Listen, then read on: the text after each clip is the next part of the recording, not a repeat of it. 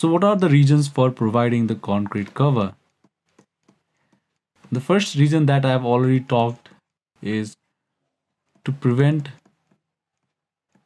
to prevent the bars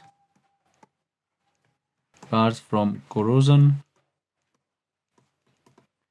Second one is to provide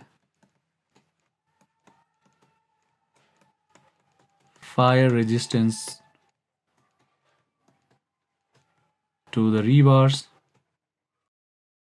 So uh, let's say that if you are inside a room and there is fire if the rebars are exposed then they will easily get heated and they will lose their strength.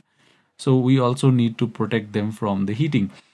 So next is we know that if if this is our concrete member and if this is our bar then there must be adequate force or the friction generated between the rebar and the adjacent concrete so that the proper force transfer can take place.